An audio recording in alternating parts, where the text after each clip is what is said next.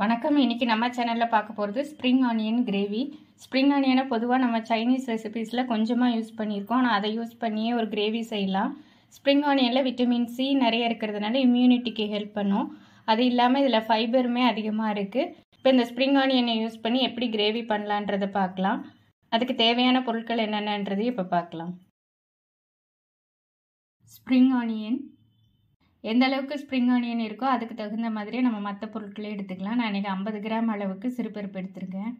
கொஞ்சமாக பட்டாணி உருளைக்கிழங்கு பெரிய சைஸ் தக்காளி ஒன்று ரெண்டு பச்சை மிளகாய் மஞ்சள் தூள் கால் ஸ்பூன் மிளகாத்தூள் ஒரு ஸ்பூன் மல்லித்தூள் அரை ஸ்பூன் கடுகு உளுத்தம்பருப்பு ஒரு ஸ்பூன் ஜீரகம் அரை ஸ்பூன் இஞ்சி பூண்டு பேஸ்ட் ஒரு ஸ்பூன் பட்டாணியை ஊற வச்சுட்டு சிறுபருப்பு கூடவே உருளைக்கிழங்கு பட்டாணி எல்லாத்தையுமே கொஞ்சமாக மஞ்சள் தூள் சேர்த்து இந்த மாதிரி நல்லா வேக வச்சு எடுத்திருக்கேன்.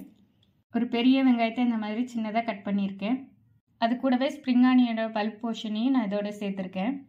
பச்சை மிளகாய் இந்த மாதிரி கட் பண்ணியிருக்கேன். தக்காளியும் இந்த மாதிரி சின்ன சின்னதாக கட் பண்ணியாச்சு.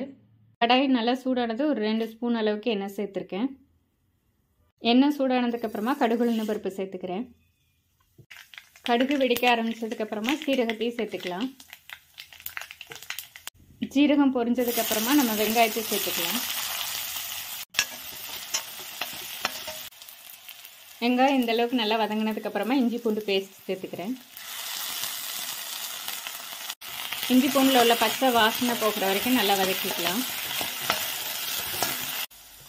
இஞ்சி பூண்டு நல்லா வதங்கினதுக்கப்புறமா நம்ம கொத்தமல்லி பொடி சேர்த்துக்கலாம். கொத்தமல்லி பொடியில் உள்ள பச்சை வாசனை போகிற வரைக்கும் இப்போ வதக்கணும்.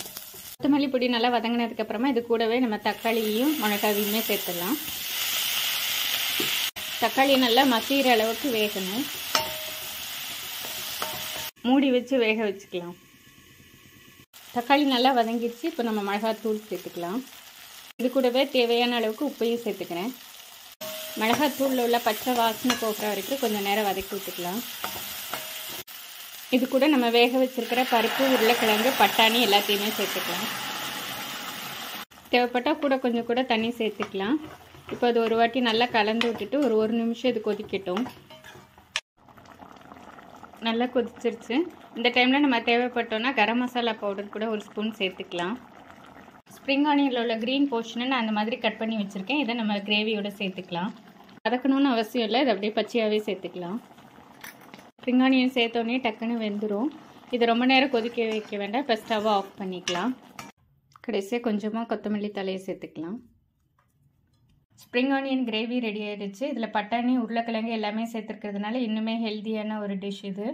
இது சப்பாத்தி பூரி ரொட்டி இதோட சாப்பிட்றதுக்கு ரொம்ப நல்லாயிருக்கும் இதை நீங்களும் ட்ரை பண்ணி பாருங்கள் இந்த வீடியோ உங்களுக்கு பிடிச்சிருக்கும்னு நினைக்கிறேன். இதே மாதிரியான இன்னொரு வீடியோவில் உங்களை சந்திக்கிறேன்.